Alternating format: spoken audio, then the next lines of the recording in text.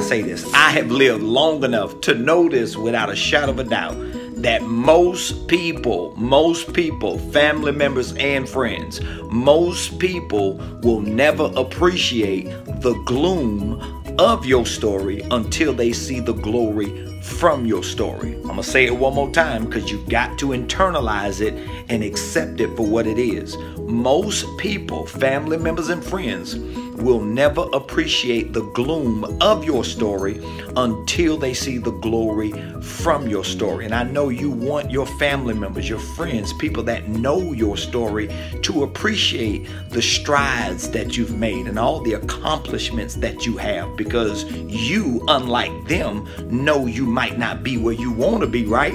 But you're not where you used to be. And it's a good feeling to know that people appreciate where you've come from and to see where you are and where you're going. But you want people to appreciate the gloom of it when they can't see the glory from it. So I want to encourage you to just keep writing your story because although you may have finished a chapter, you're still not at the end of the book. The Bible even says, He, Jesus Christ, that begun a good work in you is faithful to complete it until the end. And the race may not be given to the swift, the battle may not be given to the strong, but to those of us who endure to the end, that is, for those of us who are willing to fight through the gloom of the story and get to the glory from the story, those individuals shall be saved. And so, my hope and expectation, particularly throughout 2018, that you'll bypass all of the unrealistic expectations you have from people